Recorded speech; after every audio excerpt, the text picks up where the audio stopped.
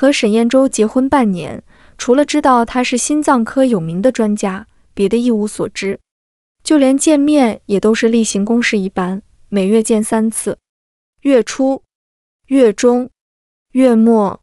但沈彦洲是个很不错的结婚对象，有车有房有存款，人长得帅，又讨长辈欢心，没什么可挑的了。婚姻和爱情终归是不一样，看开了也就这样。月末了，算起来奶奶的药该吃完了。于是我开车去医院找沈彦洲，那这就是我说的例行公事的见面。到了地方，我熟练地按下五楼的电梯。上个月出差去了，前两天刚回来。沈彦洲还不知道呢。百叶窗没拉，我看到里面熟悉的身影，以及一个身影窈窕、披着大波浪的女人。沈彦洲疲倦地捏了捏眉心。对面的女人忽然靠近，亲昵的弯腰。我静静看了两秒，随后淡淡推开了办公室的门。沈彦洲正皱眉起身，看到我后明显一愣。对面的女人起身，拿起桌上的病历，冲我笑笑：“麻烦学长了，但有些地方我还是不懂，下回再约吧。”学长医术高明，技术也很高超，高不高超的我怎么知道？无论哪方面，我都不清楚。我静静地看着他从我身旁走过，门被关上。从始至终，沈彦洲都对他的邀约不做回应。在我这里，没有明确的拒绝，就是默许。你怎么来了？沈彦洲合上手里的钢笔，眼睛亮亮的朝我走来。把包给我吧。我皱眉后退了半步，空气滞留了两秒。沈彦洲愣了一下。随后，嘴角带着笑意。下一秒，两道声音同时响起：“什么时候回来的？我们离婚吧。”沈彦洲抬起眼，定定看了我很久，一双桃花眼，要笑不笑的，有些冷。几个电话打来，他烦躁的一一挂断。为什么？我依旧沉默。离离，婚姻不是儿戏。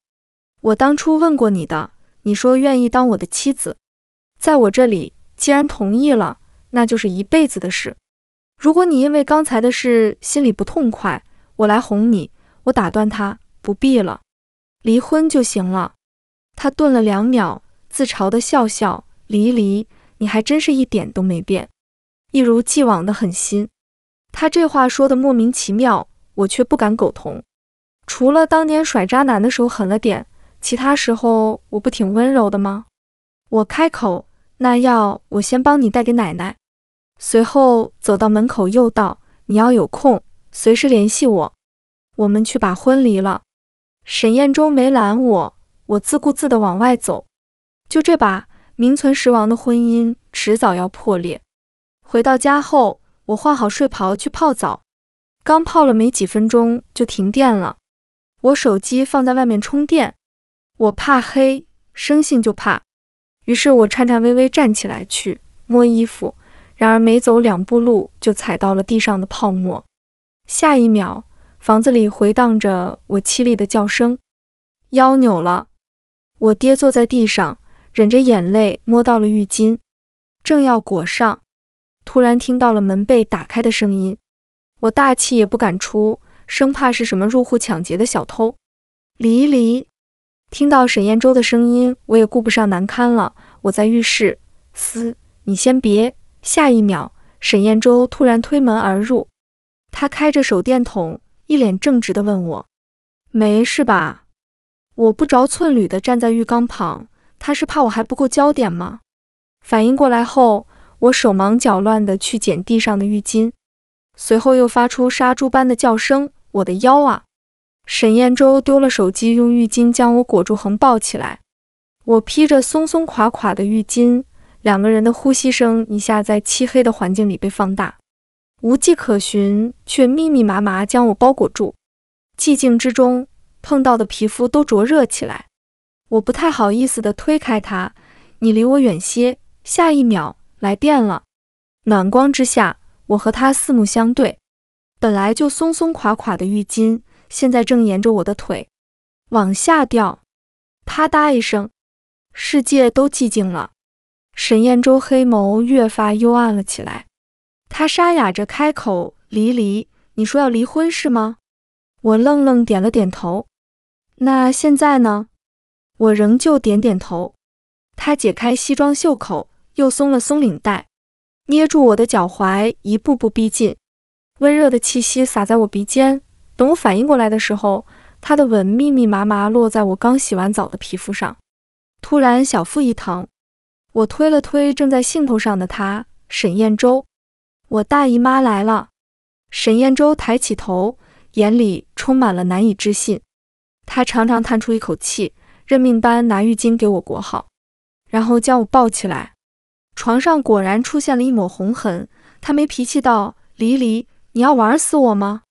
这男人今天不对。”随后他把我抱到浴室，洗好了叫我，或者我就在这等你洗好。我拼命的摇头。沈燕洲，你正常点，咱们马上要离婚了。他坐在我放衣服的椅子上。语气玩味道：“那离婚前，我得尽一下丈夫的责任，你说是不是？是你个大头鬼！”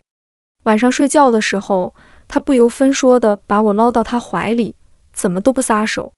在我要挣扎的时候，他大手轻轻揉我的腰伤，热热的、粗粝的触感，还挺舒服的。姑且随他吧。一连几天，我腰伤请假。沈燕洲也难得空出时间，中午回来给我做顿饭。那天中午，我准备好了结婚证，默默放在餐桌上，以表示我离婚的决心。沈燕洲回来，淡淡看了两眼，然后拎着菜进了厨房。四十分钟后，他朝我喊道：“过来吃饭。”挣扎了三秒，我回应：“来了。”饭桌上，两个红本本被垫在砂锅下当隔热垫。他自顾自给我夹菜，直到我碗里堆不下，我低头吃着，不理他。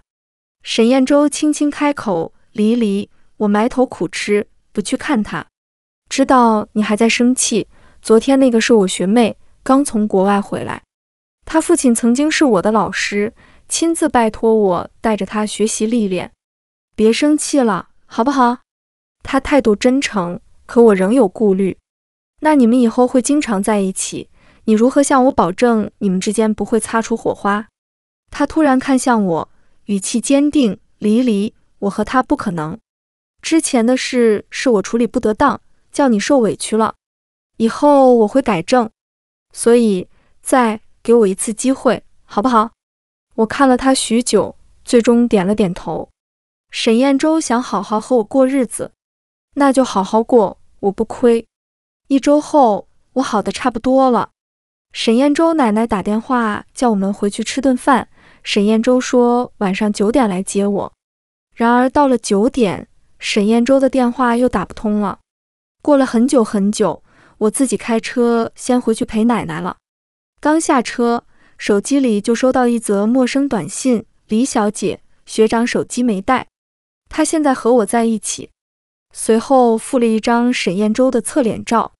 也希望你识趣，沈学长和你不是一路人，我们才是最合适的。我们能一起讨论医学难题。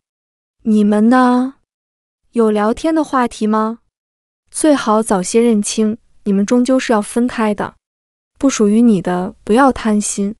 那角度一看就是偷拍，给我整笑了。正要回怼，沈燕洲奶奶走出门，亲切地拉起我的手，问道：“离离。”小周没和你一起吗？我笑着摇头。他忙吗？我来陪您，您不会不喜欢吧？奶奶喜欢你呀。都到齐了，快进来吃饭。我默默把手机关机。家宴上，我坐在奶奶身边，既要敬酒，又要应付七大姑八大姨。从始至终，我身边的位置都是空的。沈燕洲没来。一个多小时后，奶奶接了通电话：“小周啊。”你说离离呀，在呢，就在我身边呢。奶奶示意我接电话，我压着委屈问她怎么了？等我，我很快就到。嗯，好。我淡淡挂断了电话，又埋头吃起饭菜。蠢男人。不一会儿，门被推开，沈燕洲和我四目相对，径直走到我身边。我来晚了。我摇摇头，不晚，一切都还不晚。平时沈燕洲忙得很，这算是结婚后第一次他也出席的家宴。婚礼上没灌他的酒，都积攒在此时。沈燕洲端起杯子，来者不拒，一杯接一杯的喝，最后耳尖红红的。家里的亲戚一个个离开，临走前不忘朝沈燕洲喊话：“小周马上三十了。”也该要孩子了，小周啊，要加油喽！早点生个大胖小子出来。沈燕洲笑着说好，私底下握住我的手，眼睛亮亮的。呵，他还有脸碰我？人都走了，最后只剩我们祖孙三人。沈燕洲耳尖红红的，趴在我肩膀。我也喝了酒，大半夜的，家是回不了了。最后奶奶笑着开口。二楼小周的房间一直留着呢，你们回来之前我还打扫了一遍，今晚就住下吧。我看着脸埋在黑色风衣下已然熟睡的沈燕洲，最终点了点头。奶奶看了我们一眼，笑着打开了二楼的灯。早些睡，你也去休息吧。我扶起沈燕洲，跌跌撞撞往二楼走。他抓着我腰上的毛衣，声音轻轻喊着：“老婆。”老婆，你个大头鬼！这事不讲清楚，老婆就成前妻了。推开门，沈燕洲倒在床上。我打量着他的房间，很简洁，书桌上放着他小时候的照片和高中毕业照，墙角还放了一把小提琴。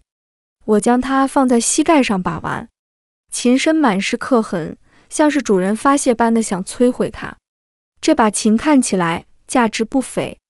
它让我想起了一位少年，我将它放在书桌上，一抬眼又看到放在书架最上层的小盒子。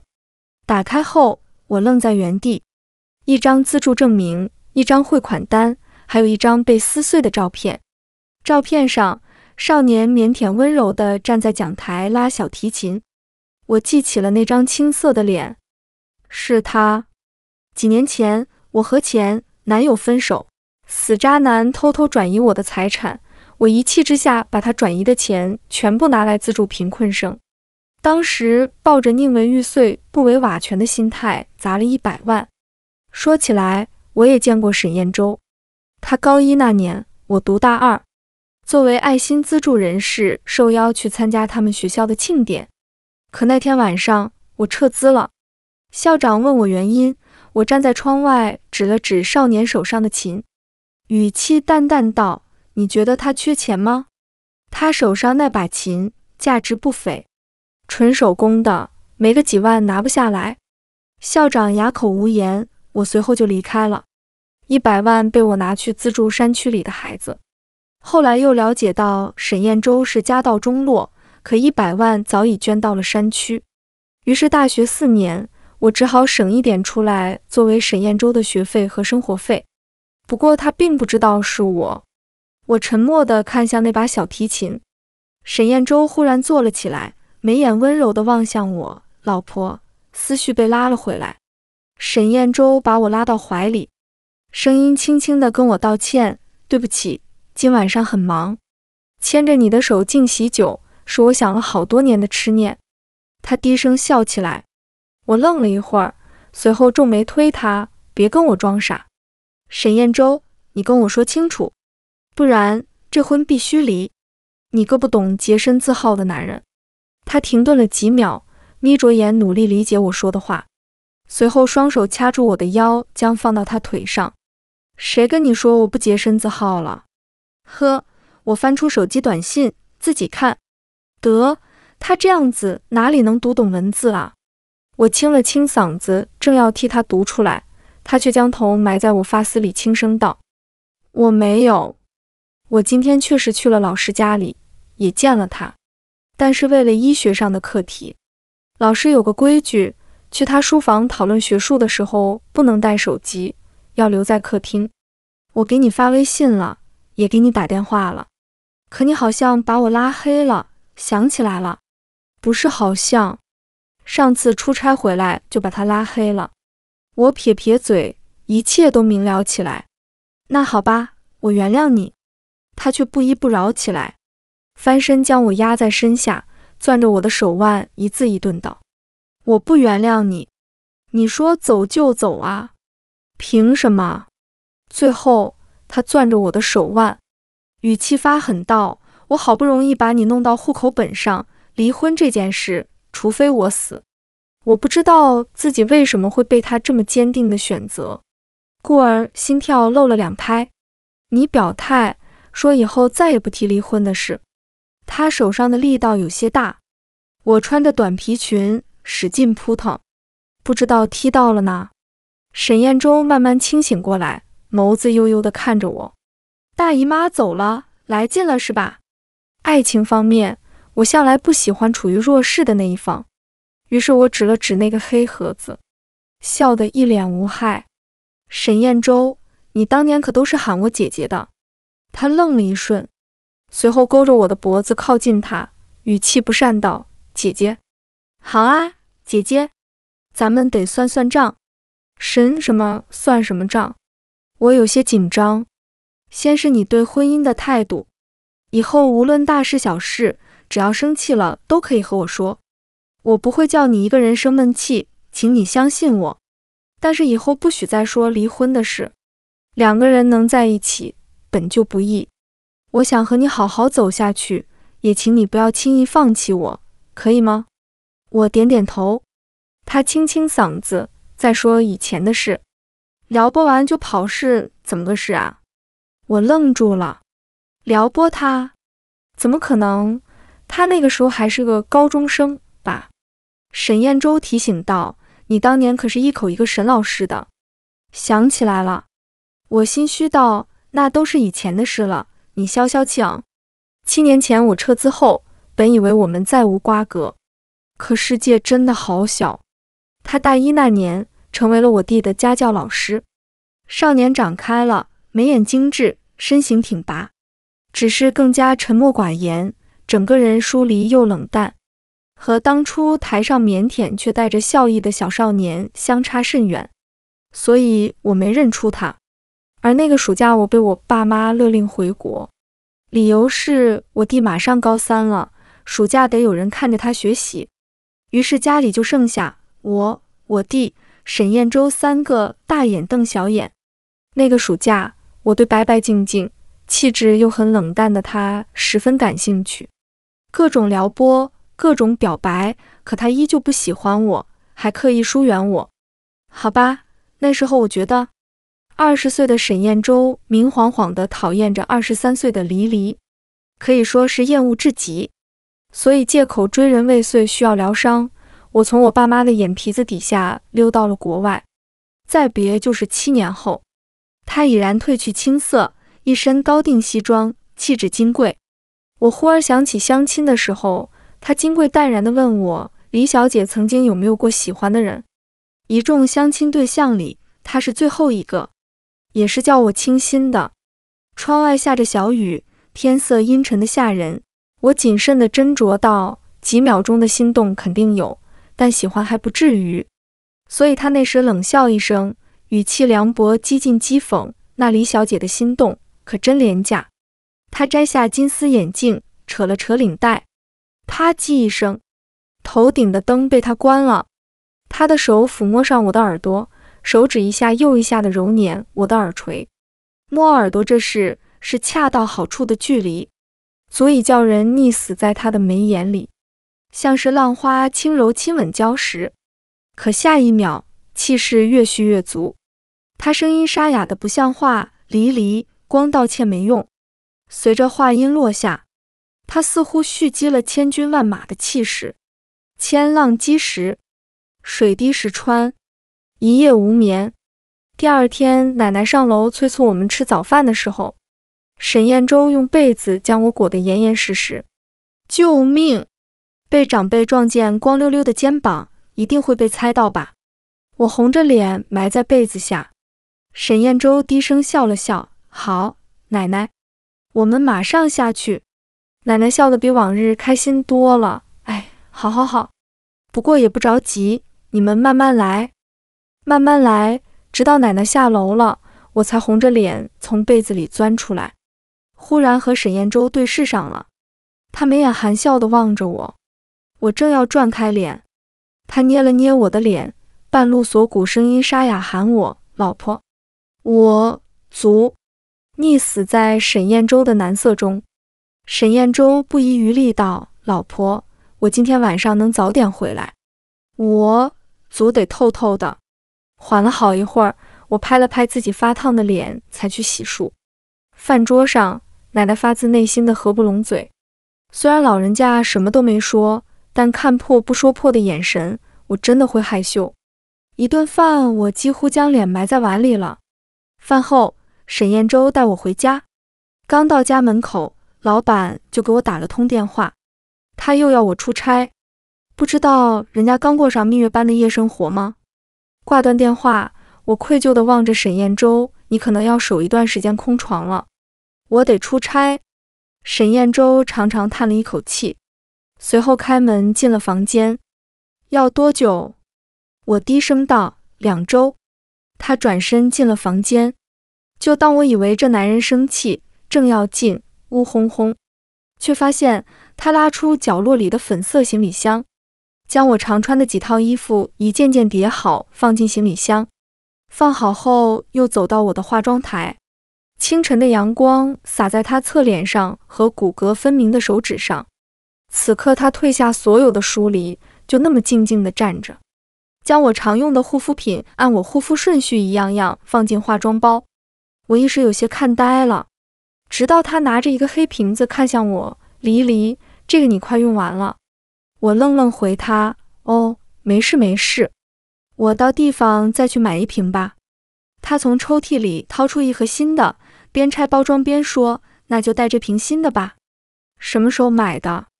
我缓缓走到他身边，戳了戳他的腰，你什么时候开始对我这么上心的？他低头将那瓶面霜放进化妆包，又拉上拉链。从娶你的时候，我撇撇嘴，手上加大了力道，继续戳他腰。当年说不喜欢我，转头又娶了我，婚后还对我一副生人勿近的样子。你确定真的喜欢我，而不是想报复我吗？他捉住我的手，感慨道：“我不会和女孩相处，也不知道怎么讨你欢心。凭我的直觉，加上对你的了解，刚结婚就对你表露爱意。”你大概率会被吓跑，到时候跑到国外又会让我等七年。七年时间不是等不起，而是人生没有几个七年。人的一生不算太长，我格外想留你在我身边。娶你是我做了要交付余生的决定。我眼睛有些酸，轻轻点点头。沈彦洲，那你七年前为什么要拒绝我的表白啊？离离，我也有自己的自尊呀。抛开一切不说，你那个时候不是真心实意喜欢我的吧？确实，那个时候我根本没打算开始一段长长久久的爱情。我看着他的眼，轻声道：“沈彦洲，对不起。”他摇摇头，亲昵地抱住我，温柔的声音从我头顶传来：“离离，没关系，只是以后别再想着和我离婚就好。”我心里猛地一颤，老公。我们以后好好过日子，我以后把欠你的七年时间补偿给你。他拉开了些距离，带着笑意道：“哦，你要累死我吗？”啊啊啊！大白天的，他说的是什么话呀？在他眼神不对劲的时候，我及时喊停：“不行不行，你别过来了，我现在就得去机场。”他压下眼里的欲望，无可奈何的在我额头落下一个吻。那就等你回来。刚下飞机，沈彦洲就给我打了个视频。视频里他正吃着饭，我眼尖的看到米饭是一块一块的。你这饭都放多久了？都凉了。他边笑边往嘴里送。上午刚做完两场手术，有些耽误了。我心里很不是滋味。那你好歹加热一下吧，你这样对身体不好。他笑着盖上了餐盒。语气略带哄骗的意味。好，下次一定加热。正说着，突然有个穿冲锋衣的帅哥喊我：“你好，是李姐吗？我是公司派来接你的。”我愣了愣，正疑惑他怎么认出我的。帅哥笑了笑说：“哦，我实习那会儿听过你的演讲，我是你的头号粉丝。沈燕洲咳了两声，饶有兴致地挑了挑眉。李姐，你在外面还有多少个弟弟？还好我戴着耳机。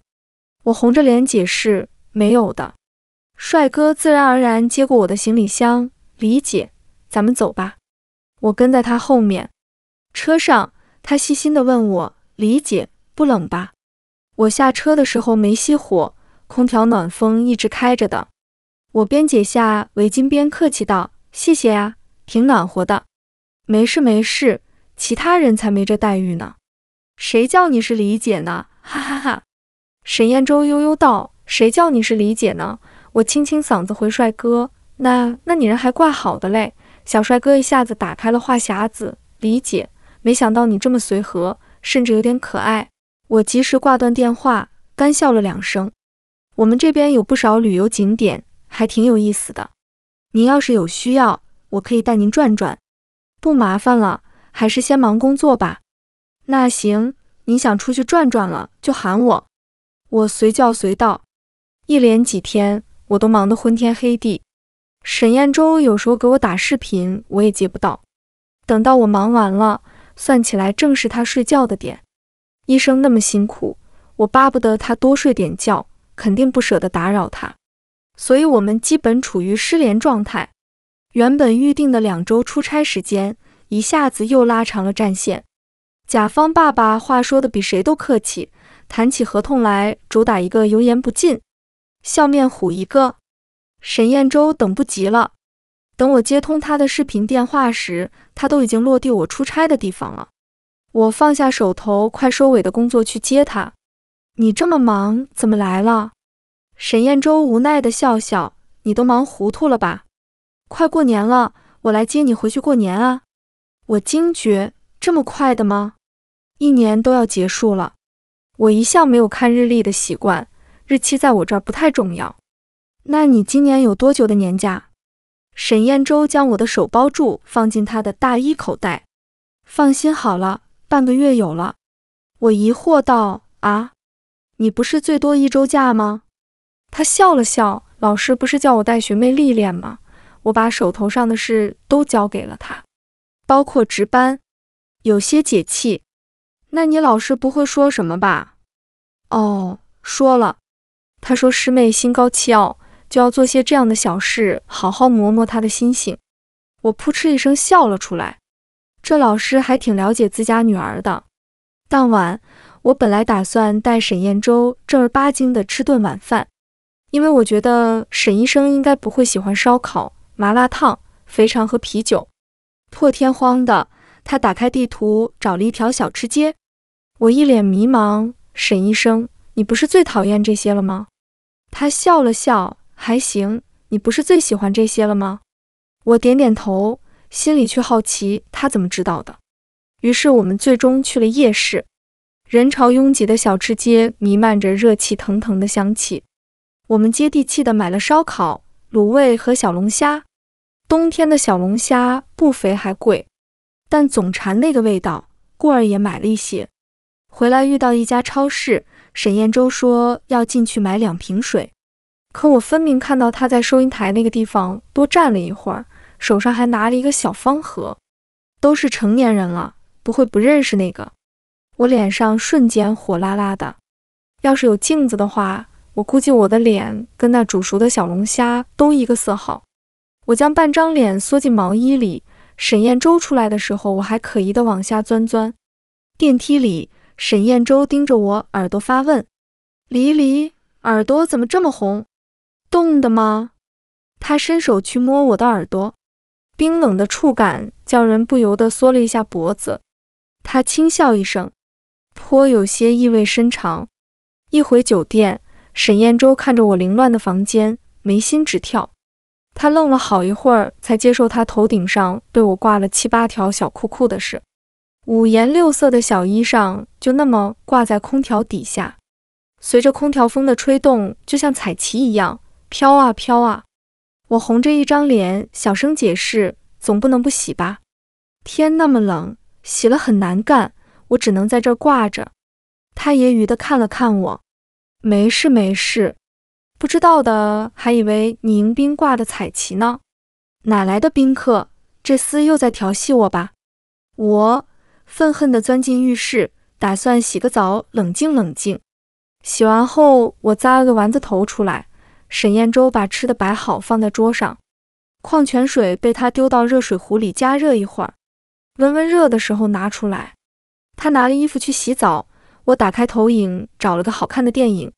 屋内暖灯亮着，电影正在播放片头。桌上摆放着我爱吃的美食，真的有种家的味道。不得不说，我还是很贪恋这种温馨的。不一会儿，他穿着睡衣出来了，靠在我身边坐了下来。电影正片开始的时候，他戴上手套，开始给我剥小龙虾。像大多数女孩子一样。我也开始对你什么时候开始喜欢我的这种话题感兴趣。沈先生给出的回答一如既往的好笑。他不慌不忙地将小龙虾放进我嘴里，轻声道：“大概是你前男友找你复合的那段时间。”他说的是他给我弟做家教的时候。深夜，某女子驱车直奔烧烤摊，回来的时候，左手拎着两盒小龙虾，右手捏着一只小龙虾。喝得烂醉，坐在家门口。那个时候他就住在我家里。你当时看到我后，拽着我的裤腿问我：“小龙虾怎么那么麻烦，剥的人手疼？”我就问：“那你带这么多怎么吃？”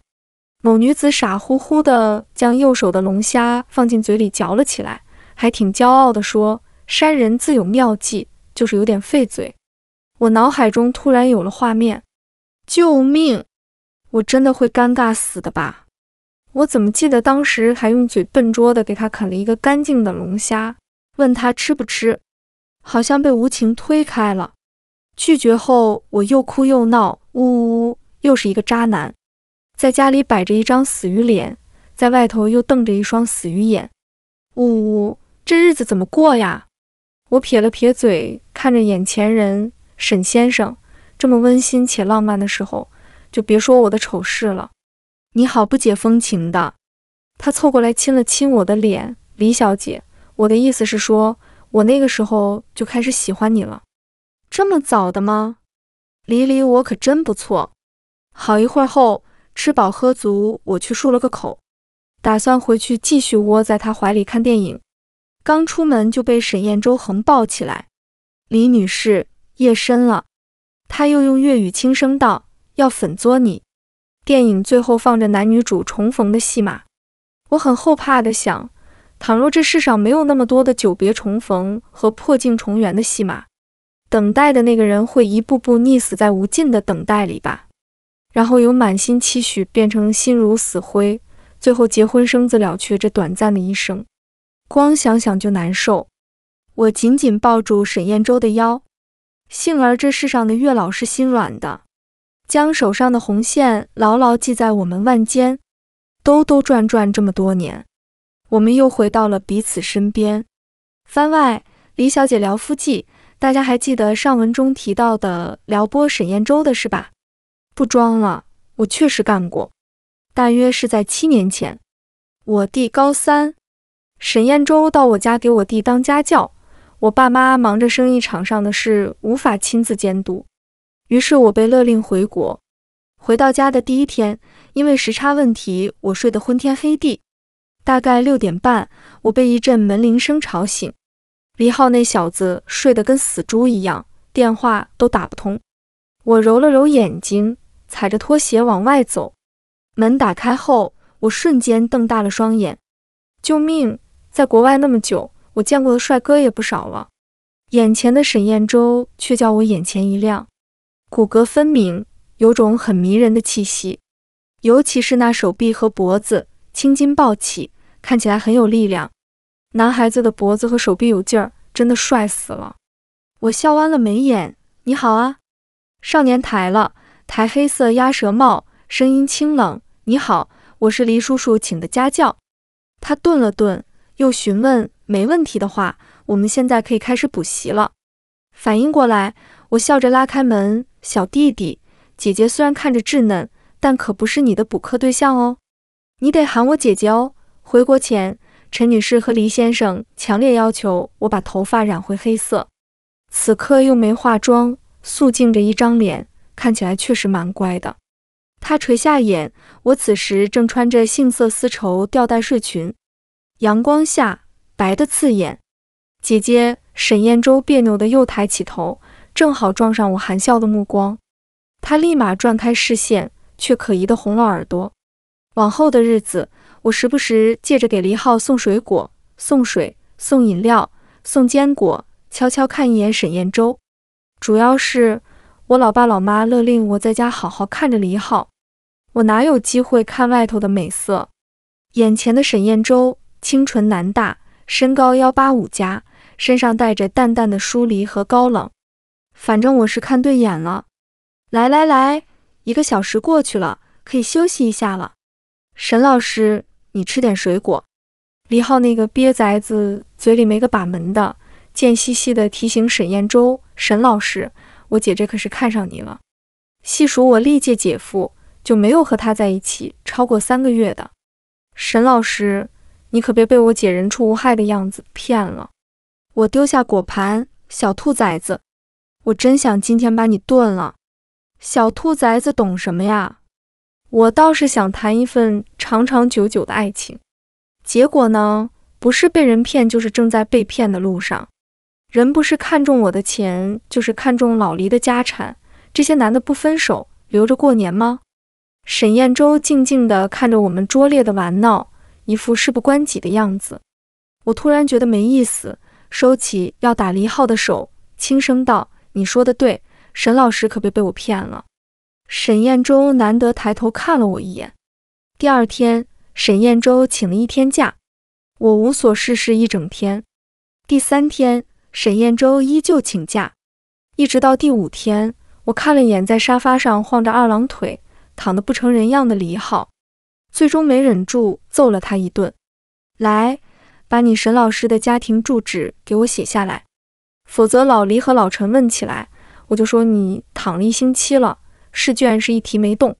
李浩声音闷闷的跟我谈条件，可以是可以，那你带我一起去，带他，碍事。不带，他扭扭捏捏解释：“带着吧，带着吧。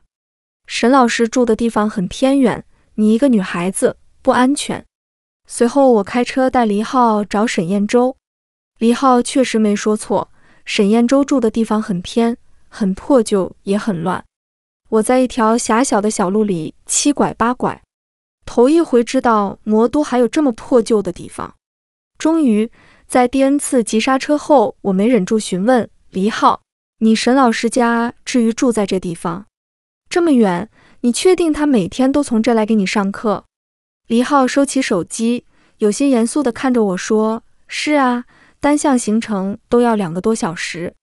刚才你也看到了，有很长一段路是没有公交车的，也就是说，他至少还要步行一个多小时。”我沉默了。李浩继续开口：“所以呀，老姐，你放过沈老师吧。”我皱了皱眉，没再说话。最终，我们在狭小的出租屋里见到了沈燕洲。他病了，家里只有他一人。我伸手摸了摸他额头，烫得吓人。沈燕洲费力睁开眼道：“你怎么来了？”我撇撇嘴，扶住他：“来救你呀，沈老师。”李浩把他扶到车上。我开车送他去了医院。自那之后，我就和沈燕洲商量，补习期间住在我们家里。结果他皱眉看了看我，好像我不怀好意似的。不用麻烦了，我换了个说法。那好吧，我每天接送你，这可以吧？他没回答，背上书包准备回家。晚上九点半，公交车早就没了。我拿起车钥匙朝他背影喊：“沈老师。”我送你呀。他在副驾驶疲倦地闭上了眼。等待红绿灯的时候，我伸手对他的眉眼跃跃欲试。他忽然睁眼捉住我的手，凶狠道：“离离，别玩我了。”我朝他眨巴着眼：“你不试试，怎么知道我不是真心的呢？”他叹了口气，有些严肃地对我说：“我很清楚，对于你而言，我算什么？我们根本不是一个世界的人。”车上的气氛有些冷了下来，我若有所思地握着方向盘，直到沈彦舟推门下车，轻声道：“谢谢你，以后不用这么麻烦了。”我笑着朝他挥手：“好，明早上八点，我准时来接你。”他愣在原地，我打方向盘掉头，车屁股蹭到了电线杆子。你小心点，我探出头，你担心我呀？他有些局促地压低鸭舌帽，我按下车窗，朝他挥手：“再见，沈老师，明天我来接你。”后视镜中，他抬眼一直看着我的车离开。然而第二天，我爽约了，理由是我 gay 蜜凌晨五点进了医院，据说是痔疮裂了，大出血。他在这地方也只认识我一个人。那我肯定得去啊！沈彦舟那边，我只好叫了专车去接送他。下午两点，他吵着要出院，医生查看了他的情况，简单交代一下，也就同意了。我打算回去拿两套衣服陪护他几天，顺路就把他带到了家里。他在楼下等我，一进门，沈彦舟沉着脸坐在客厅，黎浩在房间写试卷，gay 蜜大声催促我：“黎黎。”你快着点，我这儿离不开人。我在沈彦舟的注视下去了二楼拿衣服。下楼时经过黎浩的房间，我小声道：“那个，我去我朋友家住几天。他刚做了手术，离不开人。”沈彦舟批改卷子的手一顿，卷子上出现了长长的痕迹。偏他什么都不说，叫人心里发毛。黎浩朝窗外伸头看，是个男的呀。友情提示哈。你再不出门，他就扭着屁股进咱们家门了。我皱了皱眉，行，那我走了哈。自那天后，我在微信上找沈彦舟解释，然而一点回音都没有。两天后，我再也坐不住了，驱车去沈彦州家。那天晚上，月亮明亮的吓人，明晃晃地揭露着我们之间的边界。沈彦舟穿着黑色短袖，头发微干，站在月色下。晚风吹动他的发梢，他整个人都透着疏离和冷淡，开口说的话也那么冰冷。离离，就到此为止吧，我们不合适。他顿了顿，继续说：“下周的课上完，我就会离开。”我轻声哦了一声。说实话，我并不难过，只是胸口有些闷。那就点到为止吧。我笑着点了点头，可以。以后我们桥归桥。路归路，沈彦舟，我好像也没那么喜欢你。我转身钻进车里，他抿了抿唇，最终上了楼。当晚，我连夜收拾行李。黎浩早就朝我爸妈打过小报告，说我看上他家教老师一事。这下好了，我借口追人未遂，需要疗伤，连夜出国。走的时候，居然意外的哭肿了眼睛。李浩送我坐上出租车的时候，反常的问我：“他欺负你了？你干嘛哭成这样？”我揉了揉眼睛，钻进出租车。是啊，他就是个大蠢蛋。再别就是七年后，二十九岁的我被我爸妈勒令和他们物色的相亲对象见面。然而我在圈内的名声并不好，原因是我流连于各类男模之间。照片都传回来了，照片里我正拿着铅笔。丈量金发碧眼帅哥的腰围，但我必须说，那是造谣啊！首先，我是一名设计师；其次，我需要量他们的三围，难免有密切接触。怎么传回来就是我一个月换十几个男朋友了？流言可畏呀！一众相亲对象里，大都匆匆来又匆匆走，他是最后一个，也是最叫我倾心的。他穿着一身高定。戴着金丝眼镜，头发梳得有条不紊。窗外下着小雨，莫名有些压抑。他端起咖啡抿了一口，眼睛看着外头的雨，漫不经心地问我：“李小姐的事我也都听过，曾经有没有真心喜欢的人？”我看着他精致的袖口，谨慎斟酌道：“沈先生说笑了，年轻时候的心动肯定有过，喜欢到还谈不上。”他眼睛看向我，语气几近讽刺。是吗？那李小姐的心动可真廉价呀！我愣了愣，她大概误会我是个海后了。我气不过，拉住她的胳膊：“沈先生，虽然不知道您说这话什么意思，但我还是要替自己解释一下，工作需求避免不了和那些男模接触，我又不是圣人，几秒的心动肯定有。不喜欢就是不喜欢，工作之外我从来就没和他们联系过。我起身，怒气冲冲地离开，结果被一场雨困在店门口。他握着伞走到我身边，李小姐，我送你。不需要。好。他带着若有若无的笑意，撑伞走进雨里。老天，你也太叫我丢脸了！我本以为我们之间结束了，我妈二轮相亲继续轰炸，谁知两天后，她拨通了我的电话。周一，民政局上班，我们领证了。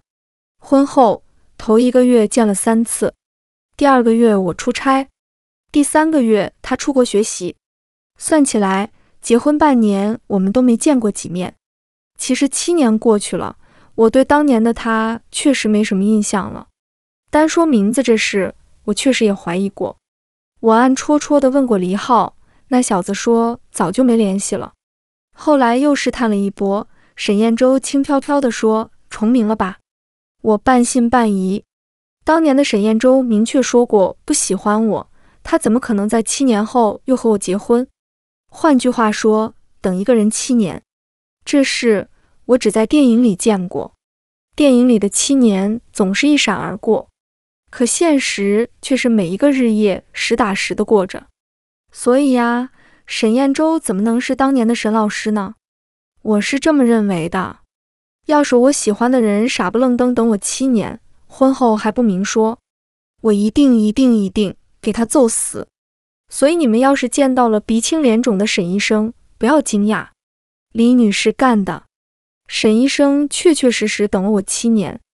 沈医生番外，某次受邀到学校给学生上课，快放学的时候，有个男生站起来问我：“沈教授，最后一点时间了，可以问您一个题外话吗？”我放下手中的教材道：“可以。您真的等了师娘七年吗？这七年您是怎么过的？”我点了点头。要说起来，其实七年不到，因为提前半年我就把他忽悠到了结婚证上。周围一阵起哄。我抬了抬眼镜，继续道：“其实对于我而言，等待不是一件漫长的事。这可能和我从事医学研究有关。我很有耐心。那七年里，我一边攻克医学难题，一边等他回来，算不上难熬。”其实我自己都不确定能不能等到他，毕竟我们之间有太多的不确定。但我能确定一点，他没出现的时候，我没做结婚的打算。其实得知他哭肿了一双眼出国的时候，我后悔了。可那时候的我，不仅给不了他想要的，连温饱都是问题。他是一时兴起，可我的心绪却被他扰乱了好多年。周围又有女生问我，教授。那你们之间错过了七年，岂不是没有恋爱基础？我将教材放进包里，回答他：确实没有恋爱基础，所以我们结婚后开始谈恋爱。但是不建议你们这么学我。世事无常，七年时间可以改变太多事。我很庆幸七年后的重逢，他还没成为别人的妻子。后面还有想要提问的同学，我笑着拒绝了，原因是。我看到黎黎抱着女儿站在教室外，你们师娘还在等我回去做饭，就先下课吧。我接过黎黎怀里的女儿，小家伙胖脸贴了过来，抱着我的脸就啃，小手还一下又一下戳我另一边脸。黎黎挽着我胳膊，兴冲冲地问：“你刚刚说什么了？”身旁有经过的同学接了话：“师娘好，教授刚才在说等你的七年。”黎黎自来熟道。可别跟你们教授学，容易挨揍。那位同学震惊啊！教授还挨揍了？离离揶揄的看了我一眼。我没揍他，但我生了个小的折磨他。这不正啃着呢吗？我笑着点点头，揽着黎离先走一步。到了没人的楼层，黎离一下又一下戳着我的腰，是不是啊，沈老师？可不是吗？腰上的牙印还在呢。咿咿呀呀，小团子捧着我的脸流口水，哈哈哈！你女儿说是，那就是了。这辈子他们说什么就是什么，我心甘情愿。